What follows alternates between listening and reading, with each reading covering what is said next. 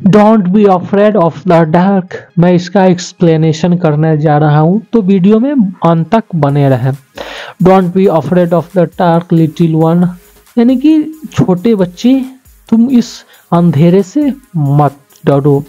The earth must rest when the day is done यानी कि पृथ्वी आराम कर रहा होता है कि जब अंधेरा होता है तो पृथ्वी आराम कर रही होती है। इस कारण से तुम क्या करो?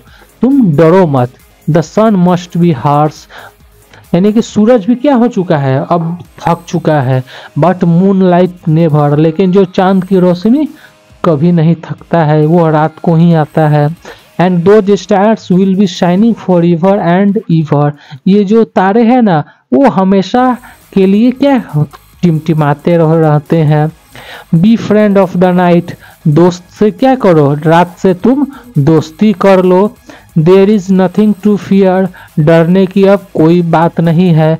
Just let you thought travel to friend far and near तुम यह ऐसा सोचो कि तुम अपने दोस्त के पास यात्रा कर रहे हो दूर और नज़दीक में।